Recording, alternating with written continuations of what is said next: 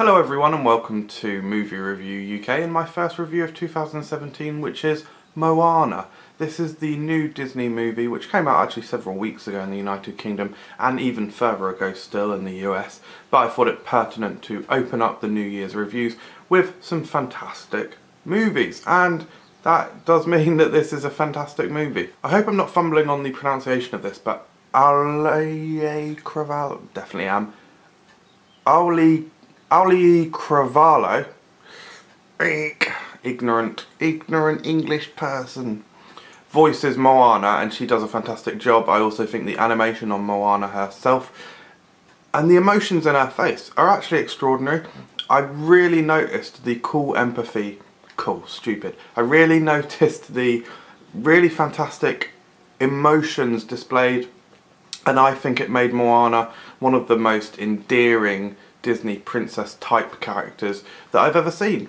Indeed, I think she might be my favourite. She's got a lot, lot of mozzo. She's gutsy. She's got ambition and passion, and she's brave. And all of these qualities really have you rooting for Moana throughout the film as she deals with physical and emotional challenges. Dwayne The Rock Johnson plays Maui. There we go, that pronunciation's a little bit easier.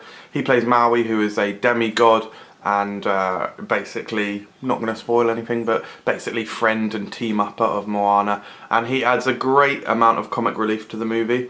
He's very bold, uh, very brash, and he's it's got some really unique elements to it, like his tattoos, uh, which kind of move, and so he interacts with them.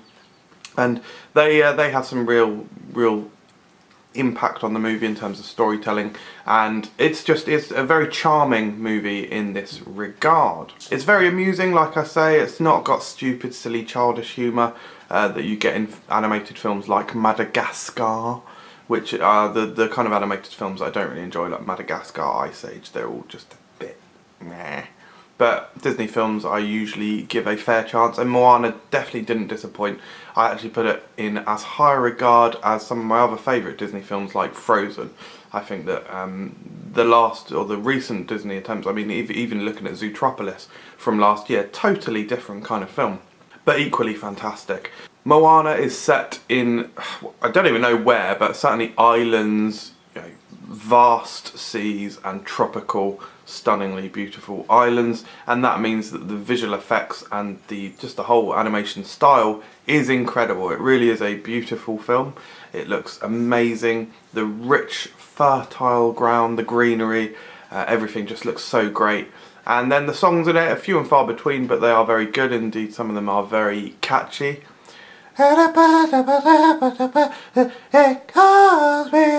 Which I've listened to a few times since I saw the film and it is captivating. It really is. It captures the imagination and the hearts of the viewers. It's quite an emotional, bit, bit, bit. It's quite an emotional film in places.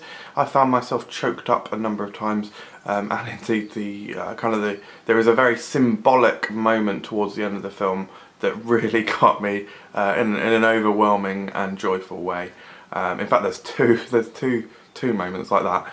Um, and it's, it's moments like that that have such emotional impact and power that make movies stay with you and they give you a good memory of them. And so I have a very, very good memory, a very fond memory of Moana, even though I only saw it yesterday really superb film. If you have uh, seen the trailer or, or just heard about it and dismissed it, I would definitely tell you to not dismiss it.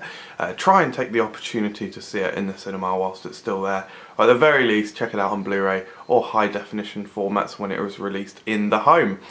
I would give it a very solid 8 out of 10 thank you very much for watching Movie Review UK. We've got plenty more reviews to come in the new year with lots of uh, screen unseens, Odeon screen unseens where they show you a film before it's been released. There's plenty of those. There's in fact two coming very soon. Scream Unseen and Screen Unseen, so I'll be doing them very shortly.